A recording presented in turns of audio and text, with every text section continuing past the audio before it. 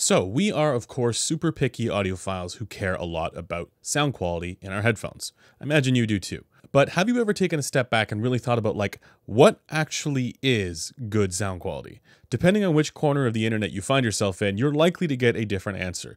Some will tell you that matching this entails good sound quality. Or maybe more advanced users will tell you, no, no, no, no, it's this or this. And of course, in other places, they'll tell you all about the technicalities, the resolution, the speed, the soundstage, and so on. These are descriptions of the sound that many of us are familiar with. But all of this is only part of the story and can even be a bit misleading. And so in this video, I want us to take a step back and really consider this question a bit more deeply. And I'm going to give you guys my take on this, at least for now. My answer might change in the future depending on new information that becomes available, but this is kind of where things are at for me for now. And yes, of course, this video is going to get very technical. So let's get started. Now, just as we get going here, this video is of course made possible by headphones.com. If you like what we do here and you find it interesting or useful or valuable in some fashion, consider headphones.com for your next audio purchase. Now, to get to the topic at hand, at its core, a statement like, this headphone sounds better than that headphone, is fairly self-explanatory. Like, you, you know what I mean when I'm talking about that. Fundamentally, that's just a statement of preference about the sound that you get from one headphone to another. So, you may have a preference for this kind of sound and not this kind of sound. And you can talk about the various different ways in which you might prefer it. But there's more going on here and it's worth considering. Why do you prefer it? Does everyone prefer it? If you held up two headphones and you clearly preferred one of them, would other people similarly prefer it? And the answer is not quite so straightforward. So I'm going to break down sound quality in headphones. I'm going to break that down into three different parts. Well, two parts, and then I'm going to talk about a third variable that makes it extremely difficult to understand the other two. So the first two parts are number one, listener preference, and number two, human anatomy. The third variable that messes all of this up is actually to do with headphone behavior, and I'll get to this, but let's go through the other two first. So let's start with preference. We know from the Harman preference research that some people prefer more bass, some prefer less, and so on. And while it might be uncontroversial to say that no single frequency response is going to be preferred by everyone, how much bass a headphone has and how much treble a headphone has is highly influential in terms of the preferences that people have. And actually, when I was thinking about this topic, I was like, what what is good sound in headphones? And I was asking some of my friends, and listener was like, bass. I think that's probably true to a large extent for a lot of people. Now, here's the thing though. You may have found a headphone that perfectly gives you the wideband bass and treble level that you enjoy. So a proportional bass and treble level that has lots of bass and lots of treble or whatever you might like, maybe less bass depending on your preferences. But you could have two products that both satisfy this requirement, but they sound different from one another, and you subjectively enjoy one of them more substantially more. So what gives? What's going on with that? So the second aspect to good sound has to do with your anatomy. And this is where things start to get complicated. So you might be thinking, well, duh, we all hear differently, but that's that's a cop out. We need to actually talk about what that means. So every person has unique features to their head, ears, torso, and these features all impact sound on its way to the eardrum. And we can actually measure and understand the effects of these features and the ways in which they contribute to what you hear. So you may have heard us talking about the head-related transfer function, or HRTF for short. That's what this is. Whenever you hear HRTF mentioned, think human anatomy, our physical ears and other things to do with our bodies. and every head, every ear has a unique HRTF. Now, this doesn't necessarily mean that we hear the world differently. Rather, it means that how our brains expect sound to propagate at our eardrums is going to be different for every person, based on the physical features of our anatomy, primarily our head and ears in this case. And that might make you think, well, then what's the point of measuring anything? Measurement rigs are a single condition, they're only one head and one set of ears.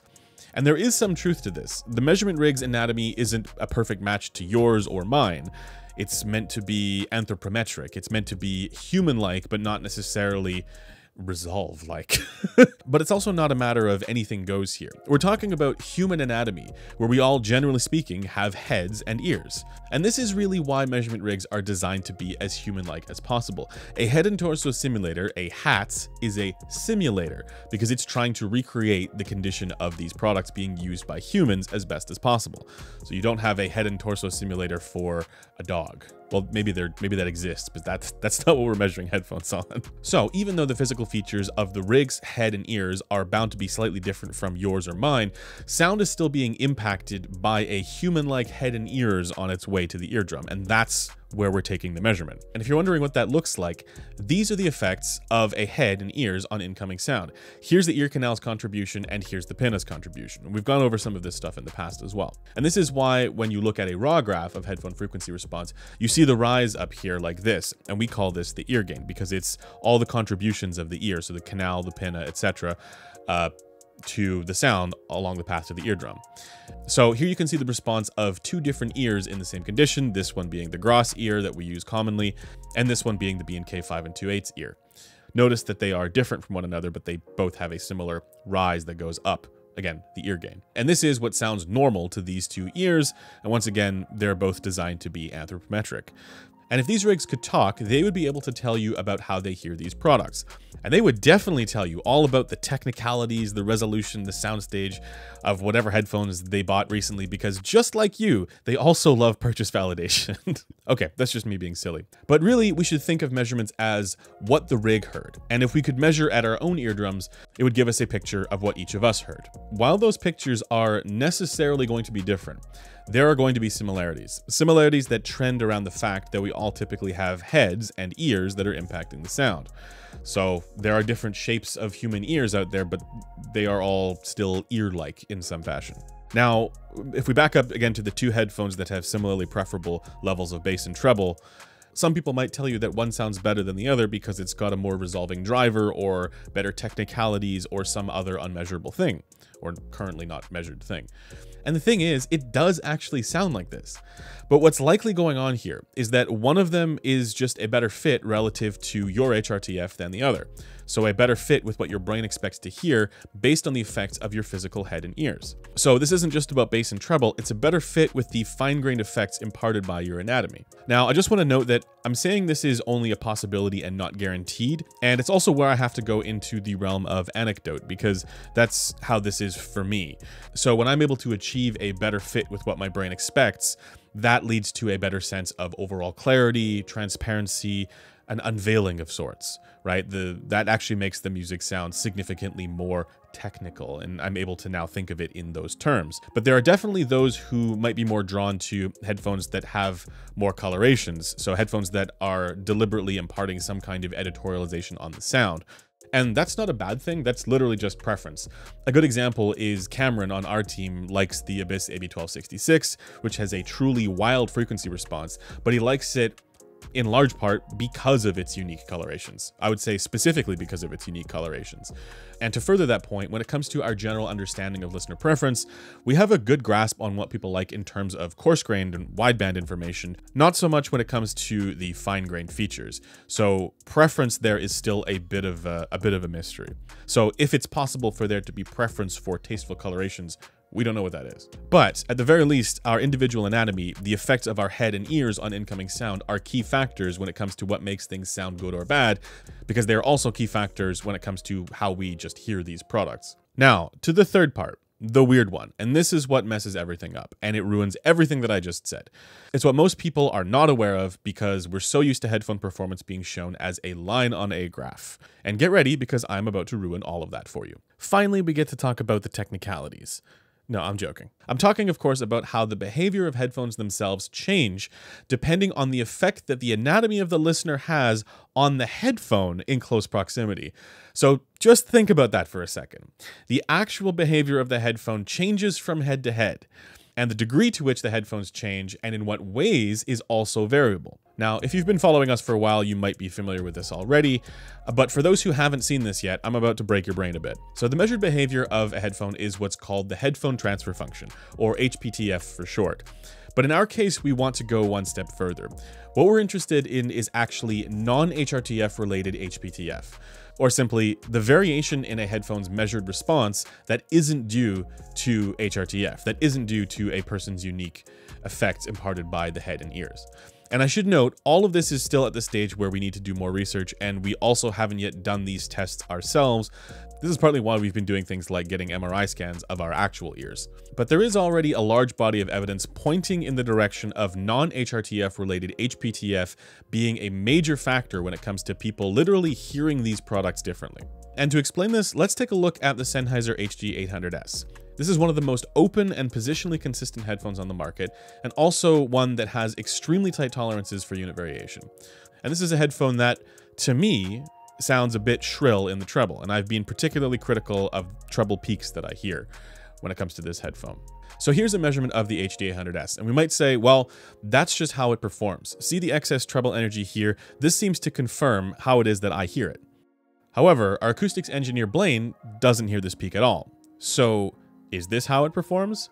Are his ears just broken? Does he have anti-sibilance built in? Maybe. Maybe he's just broken. Okay, bye. Okay, now I'm going to show you a measurement of that same HD800S on a different head, this time on the B&K 5128, which has the more accurate acoustic impedance, so it's even more human-like. Is this the truth about how this headphone performs? You can see there is still excess treble energy, but it's not exactly the same as it is on the GRAS head. There are some differences here. Now, let's take a look at an HD800S measured on multiple people, and for this we have to go to the HUTUBS database. And I'll leave the resources in the description for this if you want to check it out yourself. So this measurement shows a single HD800S measured on 30 people at the blocked ear canal entrance. This alone shows a wide variety of differences between subjects, but we don't know how much of the difference here would also be present in the HRTFs of these listeners as well. Again, people have different shapes to their ears and heads and so on. So what you're seeing here is effectively just multiple HPTFs. Uh, but the question we're interested in is, well, how much is the headphone's behavior itself changing due to the ear it was placed on? Thankfully, these 30 human subjects first had their HRTFs measured, and then immediately had the headphones measured with the microphones remaining in the same place, which microphone placement is also another variable here. Um, that's a whole thing, not for this video. But this means that we can do what we typically call diffuse field compensation. We can subtract the HRTF effects from the measurements to isolate the way that the headphone's behavior is shaped by that ear in that circumstance, irrespective of how that ear typically impacts incoming sound.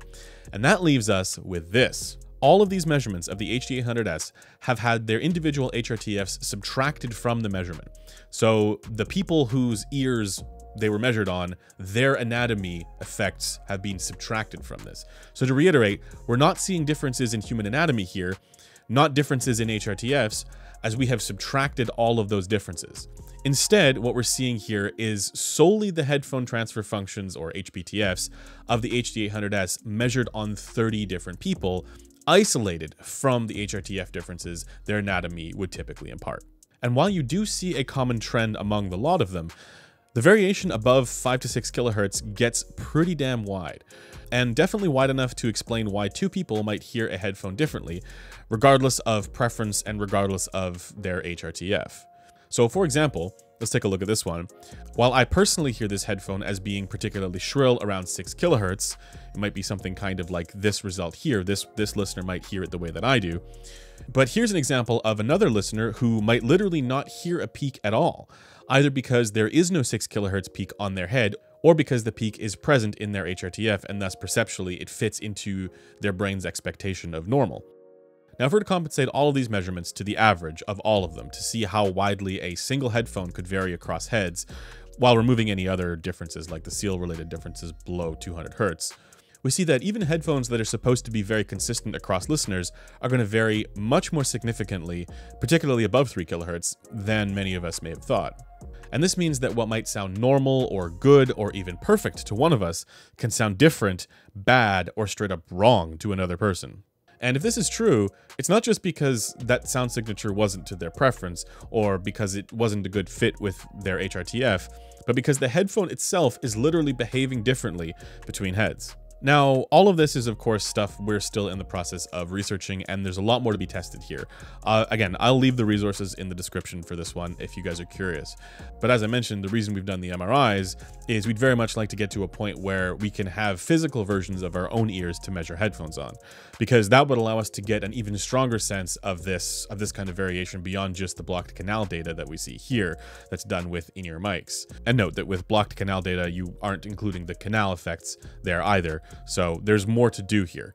But at the very least, even when comparing headphones on the existing ear simulators we currently have, we can see the HPTF variation in practice, and things are pointing in the direction of this phenomenon being highly influential in the reception of these products across listeners. So, in my view, there are a few key takeaways to consider here. Well, probably more, but these are the ones that are on my mind. So, number one is that what's been traditionally attributed to preference could actually be more down to the fact that people are literally hearing these products quite differently from one another.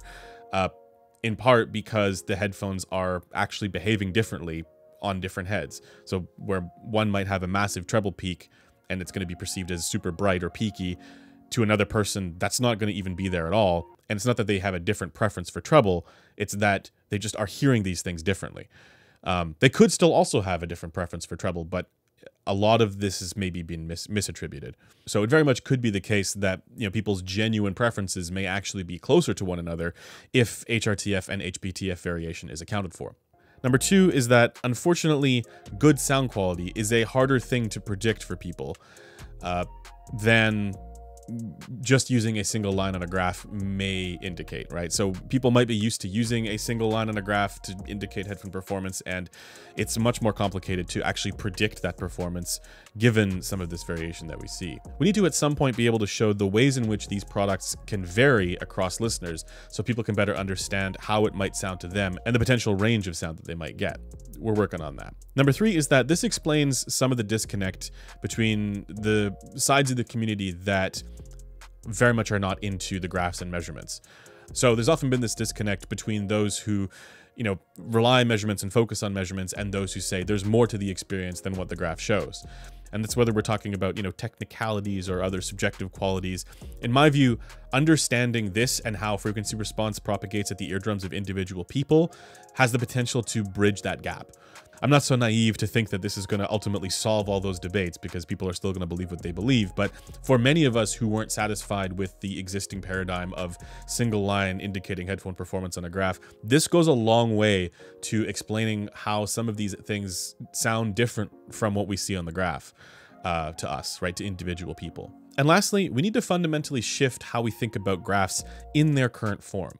Yes, we measure on multiple rigs, multiple heads for exactly this reason, but there are many other places out there showing graphs where people think, hey, this is the truth about how these products perform. This is a statement of truth about this product in all conditions. When in reality, it's only a partial truth. It's only the truth in the condition of being on that particular head and ears.